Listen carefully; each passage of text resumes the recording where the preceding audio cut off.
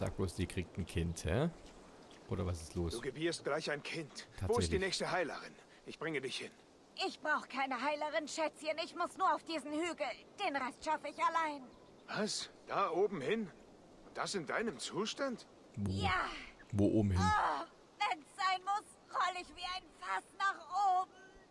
Also nach unten geht's leicht. Auf die Art wirst du nur deinem Kind schaden. Ich bringe dich mit dem Pferd dorthin. Oh, du musst mir nicht helfen. Aber einem geschenkten Dänen schaue ich nicht ins Maul. Es ist ehrlos, eine schwangere Frau sich selbst zu überlassen. Warum ist der Vater des Kindes nicht bei dir? Der Vater des Kindes ist ein Gott. Mokos, der Waldgott, sah mich zur Sonnenwende und verführte mich mit einem Lied. Ein Gott hat dich gepflückt. Ja, ist das so überraschend? Wir werden verfolgt. Warte. Ja, jetzt waren gerade Wölfe, jetzt haben sie nochmal die Diskussion über den Gott. Das war natürlich interessant jetzt. Dass der Gott die ge gepflügt hätte.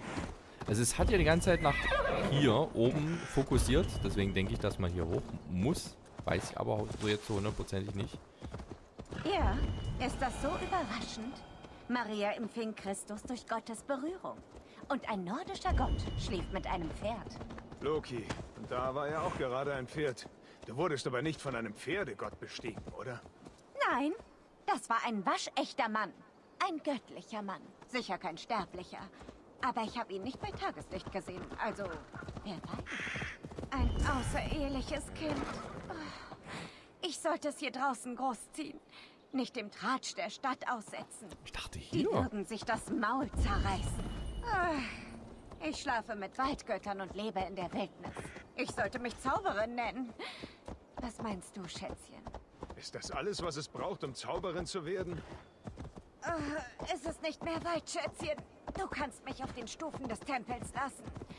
Der Rest kommt von alleine. Auf den Ich Stufen lasse des dich Tempels. nicht allein. Du könntest verbluten oder von Wölfen gefressen werden. Wenn dein göttlicher Liebhaber nicht kommt, führe ich dein Kind auf die Welt.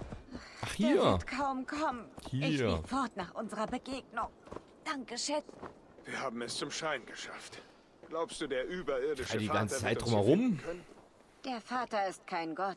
Nur ein gewöhnlicher Mann, dem auch langweilig war. Er wird nichts von dem Kind wissen wollen. Verstehe. Dann kümmern wir uns um das Kind. Atme tief durch. Versuche dich zu entspannen. Das wird eine Weile dauern. Ich baue ein Zelt. Eivor kennt sich ja richtig aus. Das ist ja voll krass. Das hast du großartig gemacht. Ein gesundes kleines Mädchen. Hör nur, wie sie schreit. Kriegerlunge. Ein Mädchen. Ich kenne mich nicht mit Kriegerinnen und ihren Namen aus. Was ist mit deinem Namen? Die kleine Eivor? Ermina, ich habe überall nach dir gesucht. Bran sagte, du seist fortgerannt. Ich fürchtete das Schlimmste. Ist das... Ist das Das ist ein göttlicher Liebhaber? Ich bin enttäuscht. göttlicher Liebhaber? Willst du mir schmeicheln oder machst du dich über mich lustig? Geh, Mokos. Unsere Familien würden uns nie ihren Segen geben. Und wenn du deinen Ruf bewahren willst, vergisst du mich lieber. Da habe ich ja wohl auch noch ein Wörtchen mitzureden. Mein Ruf schert mich nicht. Und wenn wir nur uns und eine Waldhütte haben, dann sei dem halt so. Eine Hütte im Wald klingt passend für eine Zauberin und ihr Kind. Komisch, oder? Die, die hat so getan, als ob der Mann gar nichts von der möchte, aber naja. Die Göttin der Geburt war das.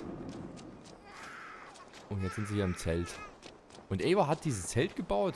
Boah, das ist ja richtig. Also, das, ich finde es erstaunlich. Der kann Zelte bauen und kann Kinder zur Welt bringen. Also, was die Wikinger damals äh, alles können mussten,